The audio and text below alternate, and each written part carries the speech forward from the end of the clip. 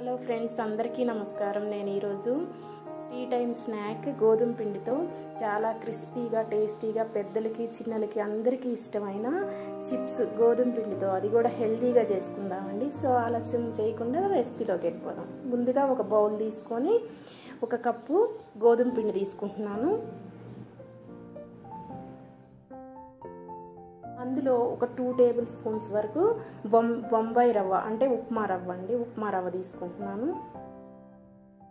అందులోనే ఒక tea spoon వరకు వాము తీసుకొని కొంచెం చేత్తో నలిపి వేసుకుంటున్నాను అందులో. టేస్ట్కి సరిపడా సాల్ట్ యాడ్ చేసుకుంటున్నాను.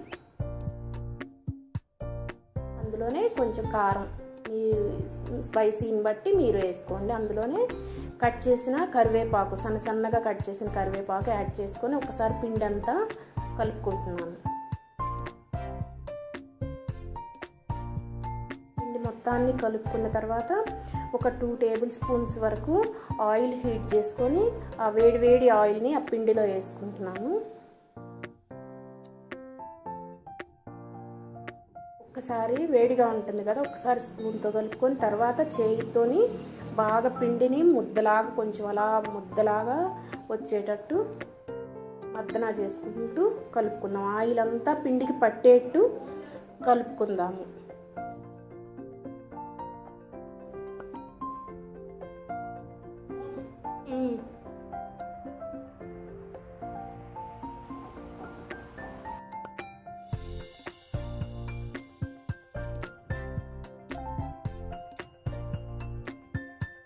పిండి ఇలా పట్టుకుంటే ఇలా ముద్దలాగా రావాలి. అప్పటి వరకు అలా పట్టుకుంటే అలా ముద్దలాగా వచ్చినాయి. అంటే మనకి క్రిస్పీగా ఇలా నోట్లో వేసుకుంటే కరిగిపోయేట్టు అలా వస్తుంది. ఇప్పుడు కొంచెం వాటర్ యాడ్ చేసుకుంటూ మన గోధుమ పిండి ముద్ద ఉంటుంది కదా ఆ ముద్దలాగా తయారు చేసుకుందాం.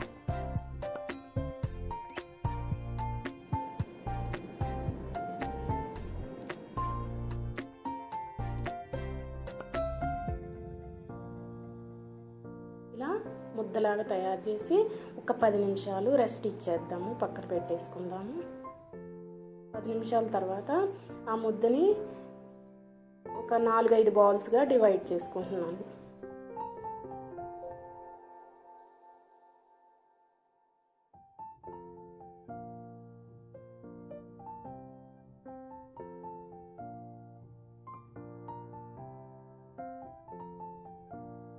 ఇప్పుడు ఒక్కొక్క ముద్దని చపాతీలాగా పలుచగా ఒత్తుకుంటున్నాను.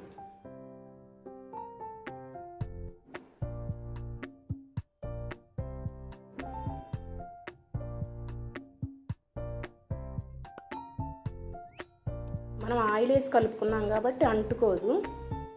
పిండేమి మనకి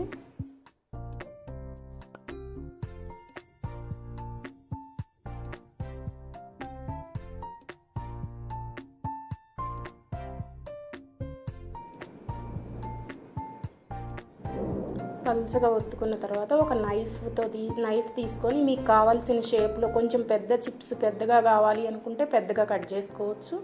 మీకు కావాల్సిన సైజులో కట్ చేసుకోవాలి.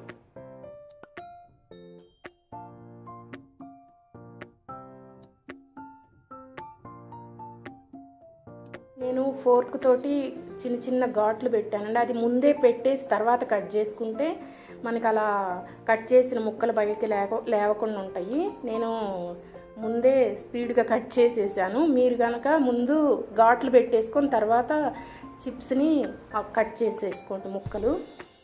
అలా ఘాట్లు పెట్టడం వలన మనకి పొంగి మెత్త తొందరగా మెత్తబడకుండా బాగా గుల్లగా వేగుతాయి అనమాట లోపల వరకు బాగా వేగుతాయి అని చెప్పేసి అలా మొత్తానికి ఘాట్లు పెట్టేశాను. చపాతీ చేయగానే మీరు ముందు ఫోర్క్ తోటి ఘాట్లు పెట్టేసుకొని తర్వాత చాకు నైఫ్ తోటి కట్ చేసుకోండి పీసెస్ మీకు కావాల్సిన షేప్లో.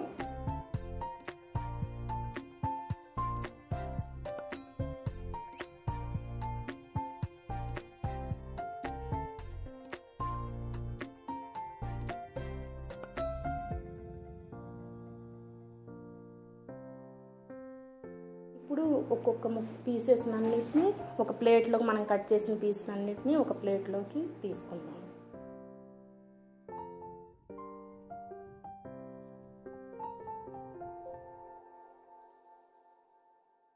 డీప్ ఫ్రైకి సరిపడా ఆయిల్ వేసుకొని ఇప్పుడు కట్ చేసుకు మనం కట్ చేసుకున్న పీసులను అందులో వేసి హై ఫ్లేమ్ కాకుండా మరీ సిమ్లో కాకుండా మీడియం ఫ్లేమ్ పెట్టుకొని ఎర్రగా వేయించుకుందాము.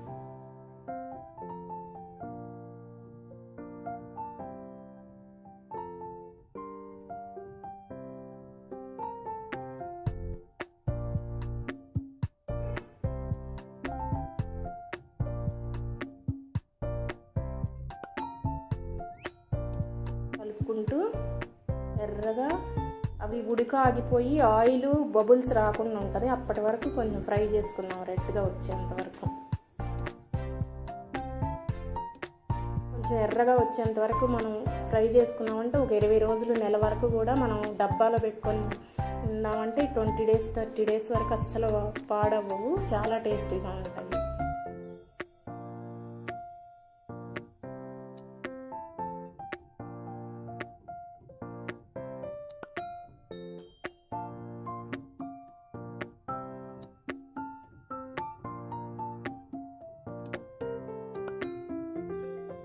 ఎర్రగా వేగేంత వరకు ఎర్రగా వేయించుకోవాలి.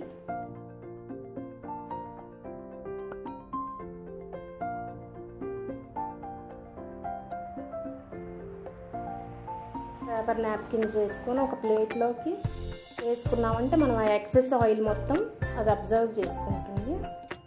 తర్వాత మనం డబ్బాలో పెట్టేసుకోవచ్చు. చూసారు కదా? నా వీడియో కనుక నచ్చితే లైక్ చేయండి షేర్ చేయండి.